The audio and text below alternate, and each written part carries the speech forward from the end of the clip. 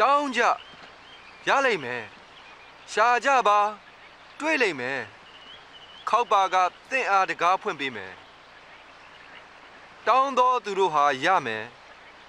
ရှာတဲ့သူလည်းတွေ့မယ်တကားကိုခောက်တော်သူတို့ကိုတကားဖွင့်ပေးမယ်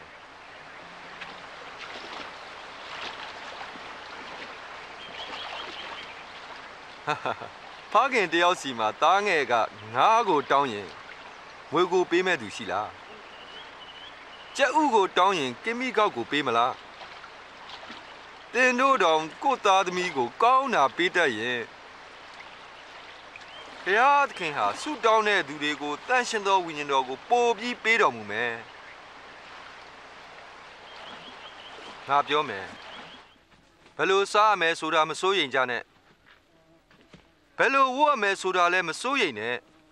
အစာထက်အသက်မြတ်တယ်အဝတ်ထက်ကိုမြတ်တယ်မဟုတ်လားကြီးကန်းတွေကိုကြည့်ကြပါသူတို့ဟာမျိုးစိတ်မကျဲ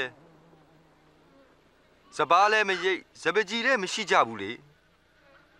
ဒါပေမဲ့ဖျားသခင်ကြွေးတော်မူတယ်ဘာလို့ဒီလောက်တောင်စိုးရိမ်နေကြတာလဲ